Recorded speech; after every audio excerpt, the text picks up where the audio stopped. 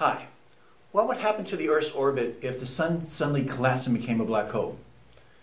What happens to light as it passes from one medium into another medium? What are the forces that go on in a collision? How long do I have before this pendulum hits me in the head?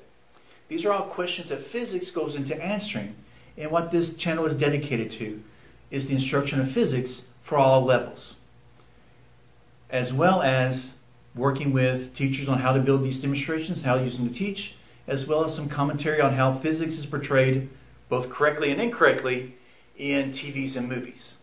My name is Kenny Lee, and I hope you subscribe and join my channel, and uh, we'll explore these different demonstrations, labs, topics together, and hopefully give you a better understanding of physics.